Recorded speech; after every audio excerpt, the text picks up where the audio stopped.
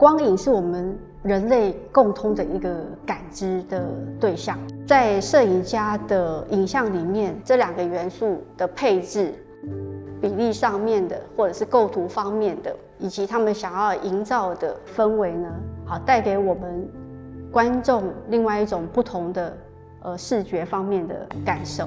在摄影的画面里的那道光，或者是那片影，究竟隐含了什么样的？意义和用意呢？而艺术家又如何看待自己作品里的光影？观众呃，或许可以从文学的角度、影像流变的角度，或者是从自己个人的生命经验出发来阅读光影。这是本次展览所期待衍生的话题。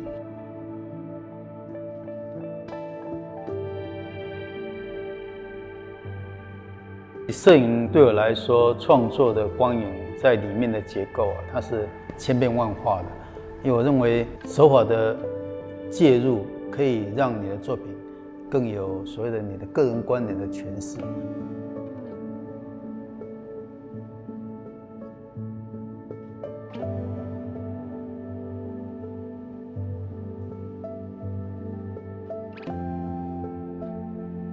光是摄影的生命，影是生命中的情感。在一件作品里面，呃，除了表面上可以被看见的部分之外，我们事实上更要掌握的是影像中，呃，感觉得到但是看不见的东西。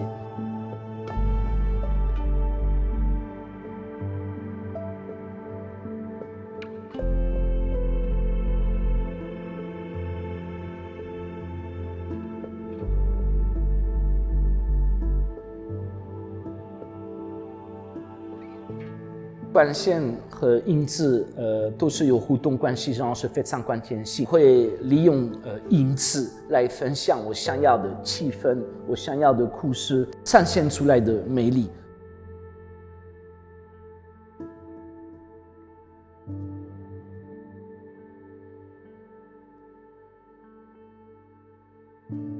光影其实，在啊我们的啊摄影家的一辈子的追求创作里面。它永远是被列列入为第一要义啊，也是啊，首先啊要呈现的这样一个元素。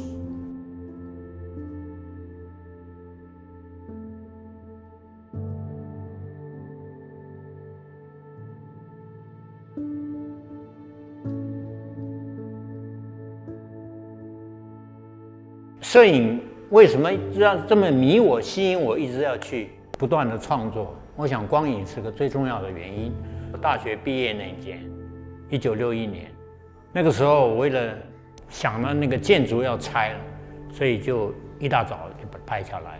这个特别的就是因为那个光影在那个旧的校舍的教室，它的廊柱形成的那个感觉，一直到今天还让我感动。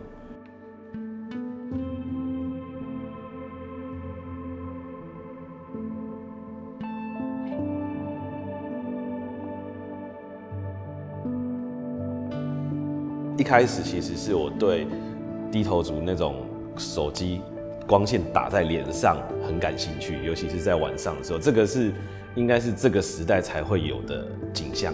顺便去反思，哎，那个智慧型手机在人际关系上的议题。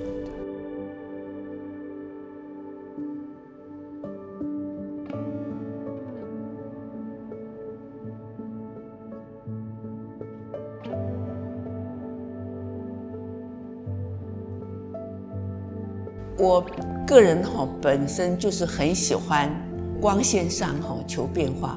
物理光学上来讲的话，它这个叫做负曲折，重复曲折两次，它会产生很多让你意料不到的那种惊奇。